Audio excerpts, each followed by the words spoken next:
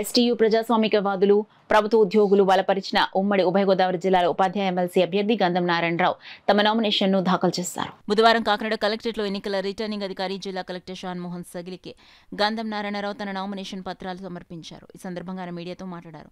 రాజకీయాలకు అతీతంగా జరిగే ఈ ఎన్నికల్లో తనపై నమ్మకం ఉంచి మొదటి ప్రాధాన్యత ఓటు వేసి తనను గెలిపించాలని కోరారు.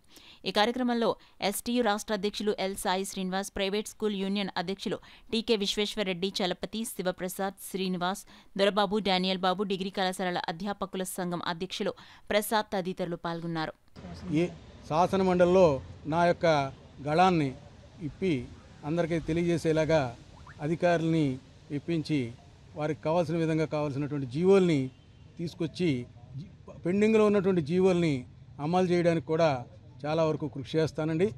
నెక్స్ట్ పోతే మరి కాంట్రాక్ట్ లెక్చరర్స్ కాంట్రాక్ట్ సిబ్బందిని జీవో ఇచ్చారు కానీ ఇప్పటివరకు వాళ్ళని రెగ్యులర్ చే ఆ జీవోని అమలు చేయకుండా అలాగ ఆపుతూ ఉన్నారు ప్రభుత్వాలు. అలాంటి అన్నింటినీ కూడా నేను తొందరగా ఆ జీవోని అమలు అమలుపరిచేలాగా వాళ్ళందరికీ శాశ్వత ప్రాతిపదికన నియమించుకునేలాగా నేను కృషి చేస్తానండి. తర్వాత ఈ టీచర్స్ విషయంలో మున్సిపల్ టీచర్లు చూసుకున్నట్టయితే వాళ్ళకి పిఎఫ్ అటువంటి సౌకర్యాలు లేవు. అవి కూడా తొందరలో రుణదించేలాగా నాకు ఎంత కృషి చేస్తాను. అదే విధంగా ఏకీకృత సర్వీసు అడ్డం పెట్టుకుని ఇంతవరకు మన ఉపాధ్యాయులకి ప్రమోషన్ లేకుండా ఆగిపోయి ఉన్నాయి.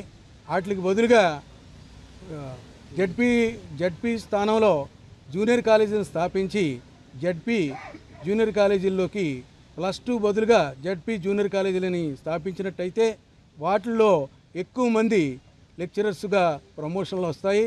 అప్పుడు ఈ ఏకీకృత సర్వీస్ అనేటువంటి ఇబ్బంది అనేటువంటిది ఉండదని నా యొక్క వ్యక్తిగత అభిప్రాయం. ఆ విధంగా నేను ప్రభుత్వం మీద ఈ విషయాన్ని శాసనమండలి దృష్టికి తీసుకెళ్తానని చెప్పి తెలియజేస్తున్నాను.